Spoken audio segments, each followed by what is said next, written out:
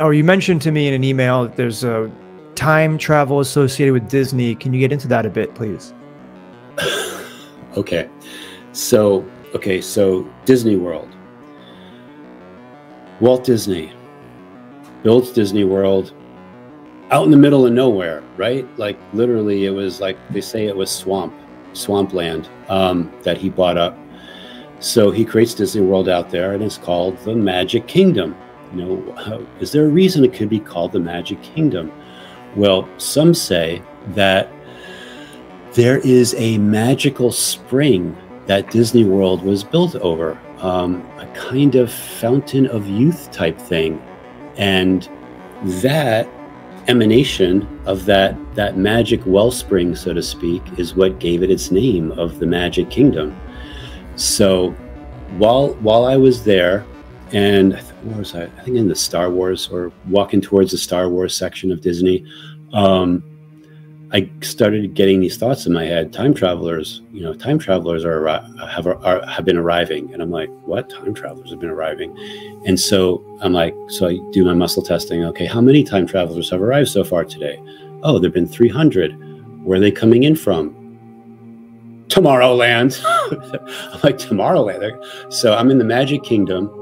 There's like time travelers arriving, coming in someplace through Tomorrowland I'm like, why are they doing this? Like, why would a time traveler want to go to Disney World? Why wouldn't they go to Universal Studios or, or some or someplace else? But there's there's a couple different concepts. One of the concept is that it's kind of like the world's fairs. So in the 1800s and 1900s, we had these world's fairs where you know all these people go to the world's fair and all these people would exit from the world's fair. It'd be a perfect place if you were to portal into this reality to go into a large area like this where if you were maybe not observed being seen entering it, no problem to leave. And it's no problem to stay into this reality.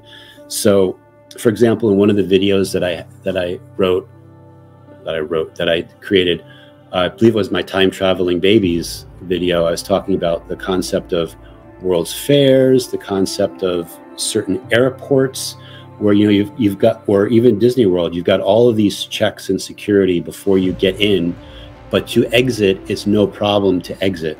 So it's very difficult to get into an airport terminal. You know, you have to show ID, you have to have your passport, you have to have this, blah blah blah. But it's very easy to exit. You just walk right out. So that's one concept. Like perhaps there were there were those that were actually entering this reality through through Disney. Um, there's also the concept of what I call pay to play, which means that in the future, Disney World may not exist. But if you are a time traveler or have that ability, you might want to have a Disney exp experience while the park is at its heyday. And let me tell you, there's so the amount, the crowds, the crowds at Disney, like that.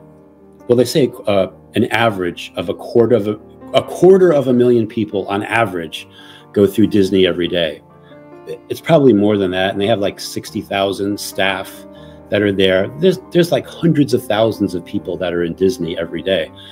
So if you consider that, just the sheer crowds of people, you know, and there's and there's other aspects to how this all would could work, but it's very interesting to you know, embrace that concept of the possibility that in the future, a place like Disney World may not exist. It could be 10, 20, 30 years into the future, or however long that would be.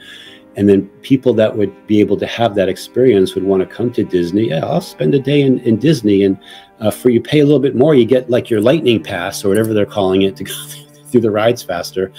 But yeah, so all, all of that like just adds more levels and layers to possible ways that the reality uh, could could operate. So those are the kinds of messages that I that I was getting.